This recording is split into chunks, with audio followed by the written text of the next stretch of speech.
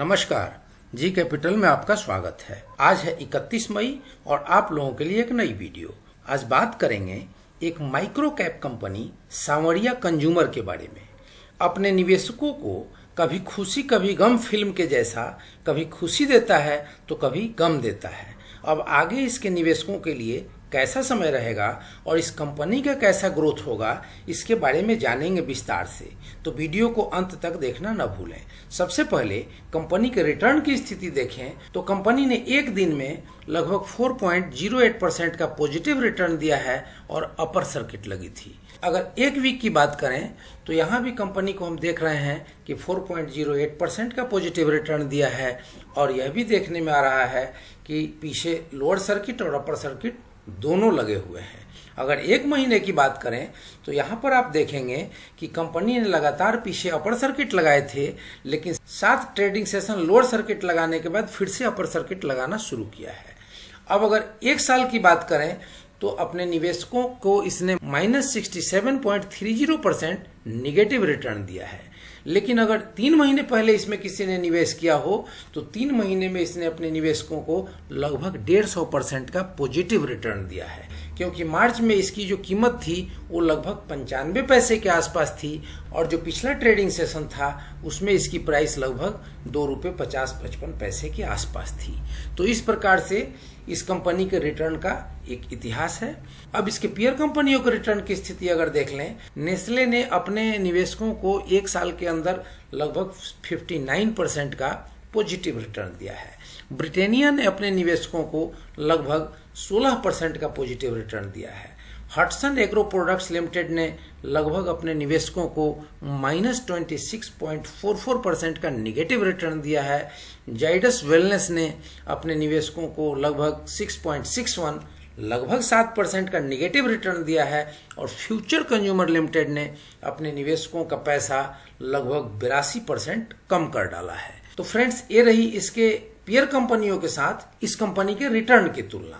अब इसके अगर फाइनेंशियल ट्रेंड को देखें तो यहाँ देख करके आपको ये लगेगा कि जो आंकड़े हैं हमारे पास 2019 तक के, उसमें कंपनी की लगातार रेवेन्यू बढ़ी है और कंपनी की लगातार प्रॉफिट भी बढ़ी है। तो यह इस कंपनी के लिए बहुत अच्छी बात है। अब इसके अगर फाइनेंशियल को देख लें तो फाइनेंशियल को देखेंगे तो चीज़ें और क्लियर हो पाएँगी। तो यहाँ आप देखेंगे कि 2015 से लेकर के और 2019 तक कंपनी की जो टोटल रेवेन्यू है, वो लगातार बढ़ी है। कंपनी की 2015 में जहाँ 2662.52 करोड़ की रेवेन्यू होती थी, वहीं फाइनेंशियल ईयर 2009 में तिरपन करोड़ की रेवेन्यू पहुँच गई। अब अगर वीडियो को लंबा न किया जाए, सीधे नेट इनकम पे आ जाया जाए तो 2015 में कंपनी की इनकम जो होती थी, वो 25 करोड़ की होती थी, लेकिन फाइनेंशियल ईयर 2019 में यह इनकम बढ़ करके लगभग 156.06 करोड़ हो गई। तो आप देखेंगे कि कंपनी के नेट इनकम में लगातार ग्रोथ हुआ है। अब अगर ईपीएस की बात करें तो ईपीएस में भी ग्रोथ हुआ है, क्योंकि 2015 में इसकी ईपीएस पॉइंट थ्री फाइव होती थी, लेकिन फाइनेंशियल ईयर 2019 में इसकी ईपीएस 2.12 रही। तो फ्रेंड्स ये तो रही इसके फाइनेंशियल की स्थिति, और इसके रिटर्न की स्थिति और इसके पियर कंपनियों के साथ कंपैरिजन तो यहाँ एक चीज़ और देखते चलें कि कंपनी की जो मार्केट कैप है, वो एक करोड़ एक माइक्रो कैप कंपनी है। और इसकी बुक वैल्यू जो निकल के आ रही है, वो 4.34 है, जो करंट मार्केट प्राइस से लगभग डबल है। मतलब ये हो गया कि कंपनी के जो शेयर प्राइस हैं, वो बहुत वैल्यू बाइंग पे मिल रहे हैं, क्योंकि अपने बुक वैल्यू से लगभग आधी कीमतों पे मिल रहे हैं। और अगर पूरे बावन वीक की हाई और लो की बात करें तो यहाँ देखेंगे कि एक साल में जो इसने हाई बनाई है, वो आठ रुपए की बनाई है, और लो जो बनाया है, वो पॉइंट नाइन ज़ीरो मतलब नब्बे पैसे का बनाया है। तो फ्रेंड्स, इसमें कुछ प्रो और कॉन्स भी हैं। तो प्रो ये है कि stock is trading at point five nine times its book value मतलब इसका सबसे बड़ा जो प्रोज है, वो ये निकल के आ रहा है कि कंपनी जो है अपने लगभग 41 परसेंट की डिस्काउंट पर मिल रही है बुक वैल्यू के लिहाज से। और इसके जो दो कॉन्स हैं, उसको भी देख लेते हैं, क्योंकि किसी भी निवेशक को प्रो और कॉन्स दोनों से परिचित रहना चाहिए। तो पहला कॉन्स है कि दो the company is reporting repeated profit it is not paying out dividend तो इसमें क्या है कि सबसे पहला जो कौन सा है ये कि कंपनी लगातार प्रॉफिट तो बुक कर रही है, लेकिन कोई भी डिविडेंड नहीं दे रही है।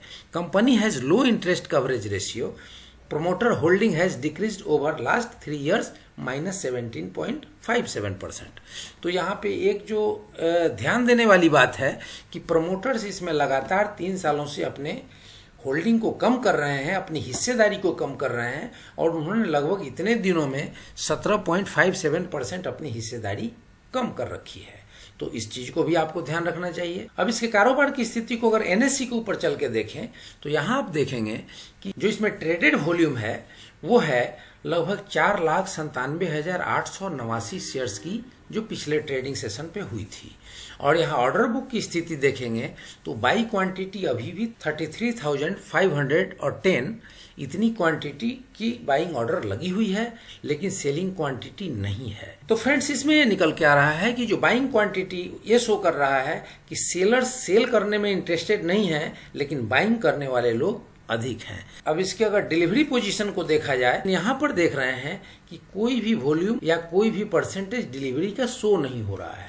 तो या तो डिलीवरी हुई नहीं है या एनएससी ने अभी अपडेट नहीं किया है। अगर डिलीवरी नहीं हुई होगी तो कहीं ना कहीं इस शेयर के ऊपर केवल ट्रेडिंग चल रहा है, लोग इसे डीमेट अकाउंट में नहीं ले जा रहे तो यह एक इसके लिए ड्रॉबैक हो जाएगा। तो फ्रेंड्स इसमें अब आगे की रणनीति के लिए एक बार इसके प्राइस मोमेंट को देख लेते हैं इसकी प्राइस चार्ट के ऊपर। तो यहाँ सबसे पहले हम आर को देखें तो RSI की जो वैल्यू निकल के आ रही है, वो लगभग 63 निकल के आ रही है। थोड़े दिनों पहले ये ओवरबॉट जोन में हुआ करता था, लेकिन अब ये ओवरबॉट जोन से बाहर है और इसके प्राइस में मजबूती है। अब इसके एमएससीडी को देख लें तो इसमें एमएससीडी जो बोल रहा है, वह बोल रहा है कि इसमें एक बियरिस क्रॉसओवर जनरेट हो चुका है, जो प्राइस में आने वाले दिनों में कमज़ोरी के संकेत बता रहे हैं। और इसके अगर कैंडल चार्ट को देखें तो कैंडल चार्ट अपने आप में बोल रहा है कि प्राइस में मजबूती रहनी चाहिए। तो इस प्रकार से इसमें जो टेक्निकल्स हैं, उन टेक्निकल्स के मिले जुले संकेत आ रहे हैं। कोई इसमें तेज़ी की बात कर रहा है, कोई मंदी की बात कर रहा है। तो ऐसा कई बार होता है, जो ऐसे शेयर जो बिल्कुल कम प्राइस वाले शेयर होते हैं, और जिनमें लगातार अपर सर्किट या लोअर सर्किट लग रही हो तो उसमें कई बार टेक्निकल प्रॉपर काम नहीं करते। तो इस प्रकार ओवरऑल चीज़ों को देख करके इसमें निर्णय लेना पड़ता है। तो फ्रेंड्स यहाँ आरएसआई भी देखा, यहाँ हमने एमएससीडी भी देखा। अब इसके 50 दिनों की ई e अगर देखें तो 50 दिन की ई e की वैल्यू निकल के आ रही है लगभग दो के आसपास। और 100 डेज़ की ई e निकल के आ रही है एक रुपये संतानवे पैसे। और जो इसकी 200 दिनों की ईएमए निकल के आ रही है, वो दो रुपये इक्यासी पैसे निकल के आ रही है। तो इसने अपने 200 दिनों के ईएमए को भी क्रॉस कर लिया था, लेकिन वहाँ पे ये रुक नहीं पाया और वहाँ से इसमें रिजेक्शन आ गई और प्राइस में रिवर्सल आ गया था। लेकिन अभी भी ये अपने 100 डेज़ के ईएमए से ऊपर ट्रेड कर रहा है। तो आपका पहला रणनीति ये होना चाहिए कि 100 डेज़ की जो ई है, उसके ऊपर आप अपनी स्टॉप लॉस लगा लें। क्योंकि अगर आपने निचली स्तरों पर इसमें बाई किया है, अगर मार्च में आपने बाई किया होगा तो लगभग नब्बे पंचानवे पैसे के आसपास इसमें आपने बाई करी होगी।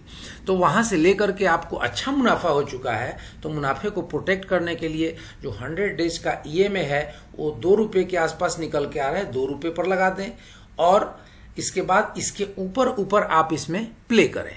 और जो नए निवेशक हैं, उनको एक बार इंतज़ार करना चाहिए, या तो ये सौ दिनों के ईएमए और पचास दिनों के ईएमए पर आ जाए, क्योंकि पचास दिनों और सौ दिनों के ईएमए कोई विशेष फ़र्क नहीं है। एक एक रुपये छियानवे संतानवे पैसे है और एक दो रुपया है। तो इन दोनों स्तरों पर वो आ जाता है तो वहाँ से वो शुरू हो सकते हैं, या ये 200 दिनों के ईएमए को सिग्निफिकेंटली पार कर ले। जैसे 200 दिनों की जो ईएमए निकल के आ रही है, दो रुपये इक्यासी पैसे तो इसका तीन रुपये से ऊपर की ओर अगर मूवमेंट होता है तो वहाँ से निवेश करें तो उनके लिए भी ये कंपनी मल्टी होने वाली है। और ऐसी कंपनियाँ प्रायः बहुत सारे लोगों को अमीर बना करके गई हैं। क्यों? क्योंकि बहुत कम पैसों पर मिली हैं, और थोड़े से प्राइस मूवमेंट में ही दो महीने, चार महीने और एक साल में अगर ठीक से अपनी इसकी प्राइस ग्रोथ हो गई तो उसमें आपको अमीर बनते देर कहाँ लग पाएगी? तो फ्रेंड्स लेकिन इस प्रकार के जो जल्दी से अमीर बनाने वाली कंपनियाँ हैं, उसमें जोखिम भी थोड़ा अधिक होता है। तो इसलिए जो भी निवेश करें, वो प्रॉपर सावधानी पूर्वक करें, पूरे विश्लेषण के साथ करें, और हमारे जो दिए गए इन्फॉर्मेशन है, इसको बेस बना करके, इसके ऊपर एक आप अपना खुद का रिसर्च करें, खुद की स्टडी करें और सावधानी पूर्वक इसमें स्टेगर मैनर में निवेश करें। एक साथ बल्क बाइंग न करें, एक साथ सारे पैसे न लगा दें। तो फ्रेंड्स ये रही हमारी एक पीस ऑफ़ इन्फॉर्मेशन वीडियो आपको अच्छी लगी हो तो लाइक शेयर सब्सक्राइब करें और बेल आइकन बटन दबाना ना भूलें, ताकि ऐसी इन्फॉर्मेटिव वीडियो सबसे पहले आप तक पहुँचे। जय हिंद, जय भारत।